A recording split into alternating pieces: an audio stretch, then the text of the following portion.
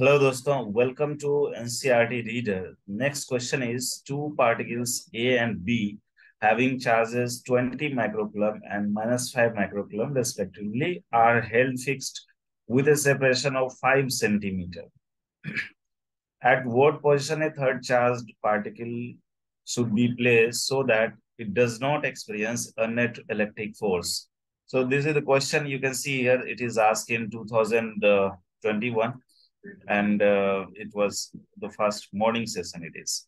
What are the option? We won't go for the option. We'll check that what is the result coming here and accordingly we'll find that what will be the answer rating so two charges kept uh, at a distance of five centimeter and uh, one thing we know that whenever uh, we have identical charge placed like this this suppose i'm considering here this is q1 and another charge is q2 and if Q1 and Q2 are of the same nature, like both are plus or both are minus, then there will be possibility that between them, uh, we can put any charge over there, either it is plus or minus, it will be in equilibrium.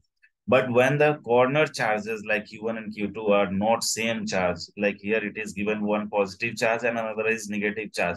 So in between, if you put the any charge, positive or negative charge, it won't experience uh, equilibrium over there. No net electric force will be like it does not experience electric force. The question is asking, but suppose if I am considering this is to be the 20 microcoulomb and this I am considering minus 5 microcoulomb. And if I'll put any charge between this line joining the two one, so it let's suppose it is positive charge. So this positive charge will repel this one and this negative charge, this attract this one. So the resultant of this uh, positive charge will be this side. That means it, it will experience a force here. If I'll consider the negative charge, this plus charge will attract this negative charge and this negative charge will repel here it is. So here also we are having some resultant force. So that means that the charge which is going to place over there, the third charge, which is not the line joining the, between the two charges. So this is the thing here you need to consider. And we know that we can put over there this, let's suppose this is 20 microcoulomb. And here we have minus 5 microcoulomb. We'll place this side, uh, here is the charge which I am placing so that it will experience uh, let's suppose this is the point P I'm considering here it is A, here it is B, and the distance between A and B is 5 centimeter, it is given here. This I am considering. Let's suppose this distance be X, X from minus 5 coulomb.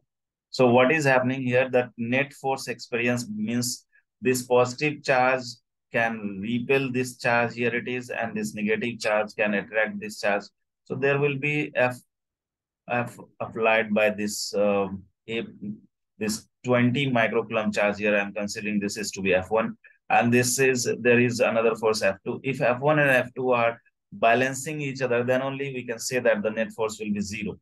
Net force will be zero at this point. So what is the thing we can say here? It is that net force F1 will be balancing F2. So F1 is equal to F2. This is the magnitude wise we can write here it is and that is K.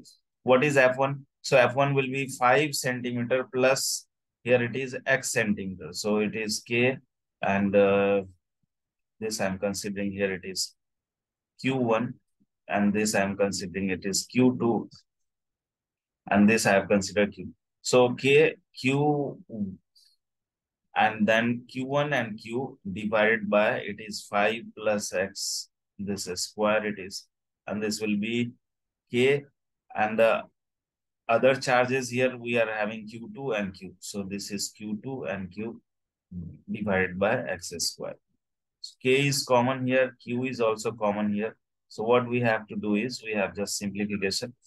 Next step you can see here this is x divided by 5 plus x here. And the square of this one is equal to it is q2 by q1 q2 by q1 what is q2 Q2 is 5 microcoulomb and Q1 is 20 microcoulomb. So it is, uh, this is 5 divided by 20. Microcoulomb is in both, so it will get cancelled out. Here it is 2. So it, uh, I'm considering this to be next step. We have, uh, sorry, it is x divided by 5 plus x and this will be 1 by 2. So it is 5, uh, it is 4. So it will be 1 by 2, we can say. So you can write here 2x is equal to 5 plus of x. So what we have the x value, it is coming this this side we have 1 by 4, 1 by 2. So it is 2